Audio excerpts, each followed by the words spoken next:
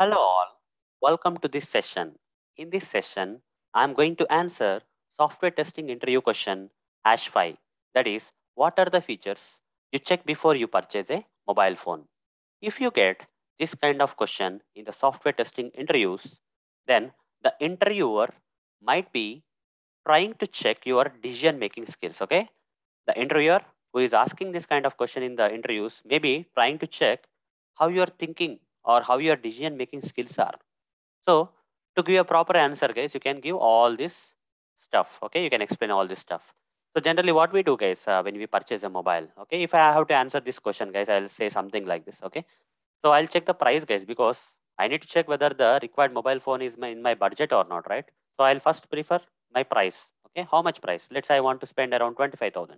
Okay, in 25,000 range, what mobiles are coming? I'll check first. I'll not go beyond 25,000.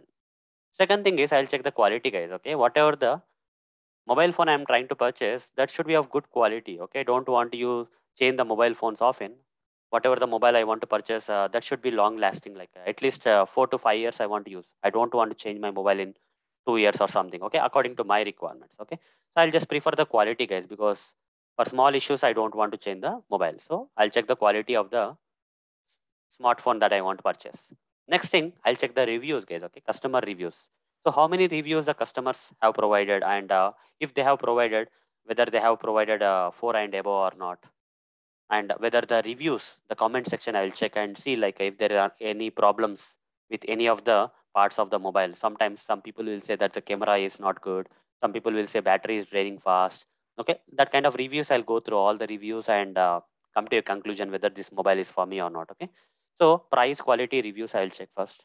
Then I'll check whether the mobile phone is easy to use or not. Okay. So I make walk in into one of the, okay. Once I decide this is a mobile phone, I'll walk in into the re respective mobile phone stores and actually start using the mobile there and see like uh, the look and feel and uh, you know, right, the way I'm using the functionalities, features of the mobile. It's kind of good or not. I'll check there. Okay. It should be easy for me to use. So I generally prefer Android over iOS guys because uh, I'm a Android user and I'm habituated to that. So I'll I'll see in the Android section and uh, in that Android section whether it is easy to use or not something I'll see. And the main important thing I will check is whether that particular mobile I'm going to select or purchase is as per my needs or not. Okay, don't worry about what other people are using. My according to my needs, whether the mobile phone is there or not. Few of the needs are like you see, I consider my battery. Okay, battery of the mobile I generally consider the reason behind that is you see when i travel to some distance or something i should not uh, you see the power should not drain out okay? If i go on a trip or something or if i travel to some destination if i want to use my mobile and if that mobile charging is draining out very fast that is a problem right? I don't want to carry a extra power bank and all okay? So the battery how much time the battery charging will be there okay?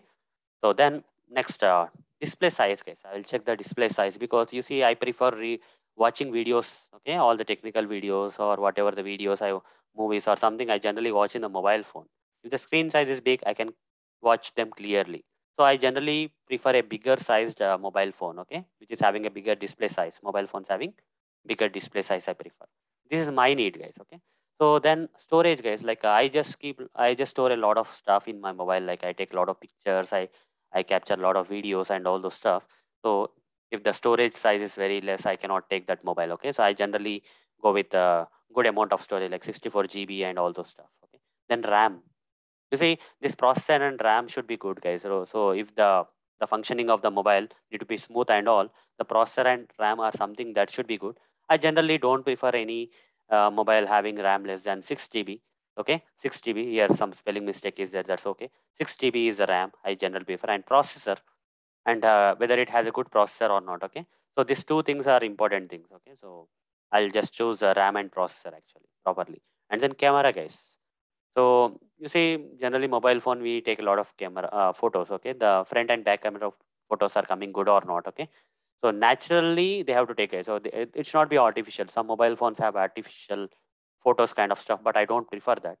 I want uh, the camera to be kind of natural okay? So and uh, very clear crystal clear kind of thing it should be front and back uh, very good uh, resolution should be there okay megapixels number of sims i use i prefer two sims okay these are all my needs guys as per my needs i will be selecting the mobile okay So number of SIMs, I gen generally maintain two SIMs, okay, one for my personal use and one for my work purpose.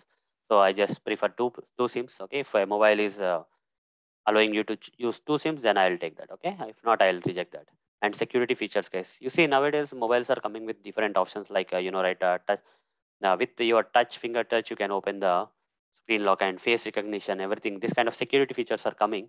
So I generally prefer them and uh, generally choose a mobile which has some advanced security features. Okay, so that my data, that is my work data and all thing can be stay safe and all those stuff. Okay, so so these are these are my needs, guys. Okay, as per my needs, I'll be selecting the mobile and it should be in my budget and uh, according to the uh, reviews, feedback, and popularity of the mobile in the market, I generally make a decision of how to purchase the mobile. Okay, before purchasing the mobile, I make all these decisions. Okay. So hope guys you got the answer for this question and how to answer this question in the interview. This kind of answer is enough guys. Okay. No one can answer more than this. So guys, uh, see you in the next uh, session where I'm going to answer another interview question on software testing for you. Till then, bye.